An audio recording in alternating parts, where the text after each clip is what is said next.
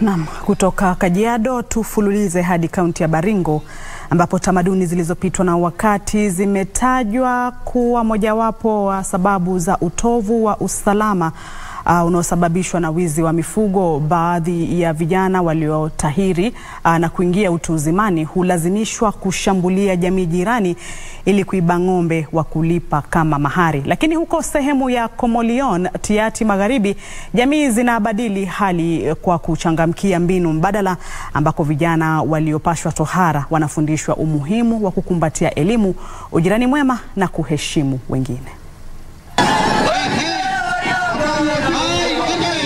Sehemu ya Komolion, eneo bunge la Tiaty, kaunti ya Baringo. Vijana 77 waliopashwa tohara wanakaribishwa kwa hafla maalum kuingia utu uzima. Ni hafla ya aina yake katika sehemu hiyo, kwani vijana hao walipashwa tohara kwa njia ya Kikristo ambako walipokea mafunzo na ushauri kukumbatia elimu, ujirani mwema na heshima kwa kila mtu katika jamii.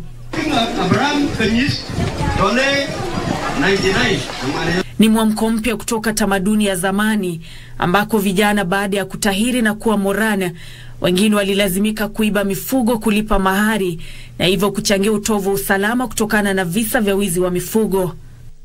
Walikuwa wanafunzwa mambo ya kuoa kwa mtu mzima. Kitambo eh, tulikuwa na hiyo generation yetu ya nemesis ya kusema Turkana asikuwa anapigana popote.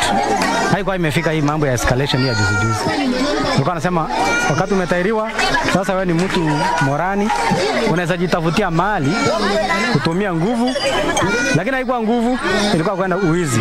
Anafundishwa mambo ya kuwa jemadari, kukuwa wanaume ambao wanaweza kukua ni wenye eh, roho ngumu, mwanaume ambaye anaweza hata kuweza kushambulia simba, anaweza kushambulia nyati, anaweza kushambulia hata kabila zingine majirani zao, ama wale wanaita adui bila kuokopa. But now kikanisa tumebadilisha uh, hiyo, tunakuja kufundisha waweze kupenda majirani na mtu ajitafutie mali kwa njia ya haki.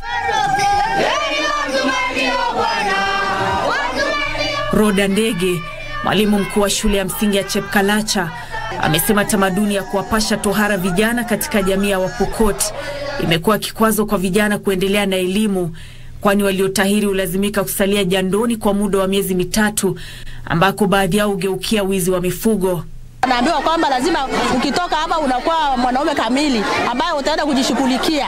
Kwa mfano, wanaambiwa kwamba mambo ya kuoa lazima uende ujishughulikie, utafute namna ya kupata mali ili upate kuoa.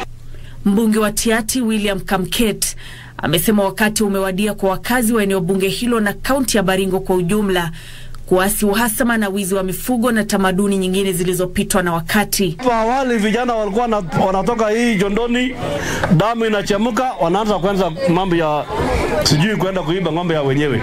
Sasa mmesikia hawa wanaimba kwaya ya kanisa na hawa wote ni wanafunzi. Wakitoka hapa wanaenda class na kusoma na kwenda kuwa maprofesa na kusaidia Wakenya wengine. Nimeambia hawa wanaume wote, vijana wote, hatutaki kusikia kwamba kuna mtu ameibia mwingine. Nancy Okware, Darubini Wikendi.